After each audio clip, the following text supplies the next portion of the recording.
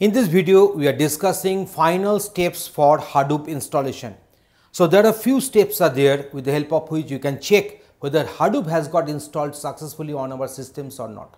So let us start with our discussion. At first, we are going for name node setup.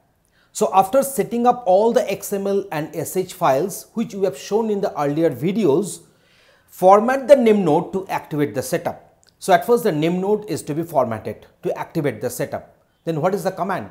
Command is Hadoop name node minus format. So you are supposed to issue this one to format the name node and to activate the setup.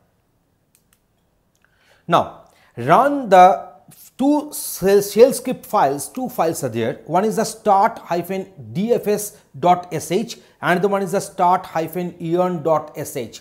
Two shell script files are to be started scripts to start and the Hadoop file system will be started accordingly.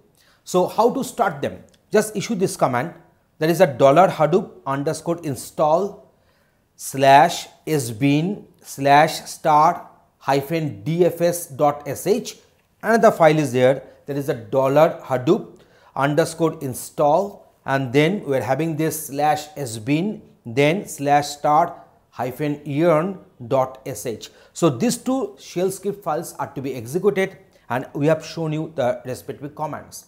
So when these two files will get executed and whenever you are going back to get your dollar prompt then in open the browser and give this URL there that is the http colon slash slash localhost colon 50070 slash. So just give this URL and you will be getting search screen coming and having this particular screen will indicate that your Hadoop installation has been done successfully.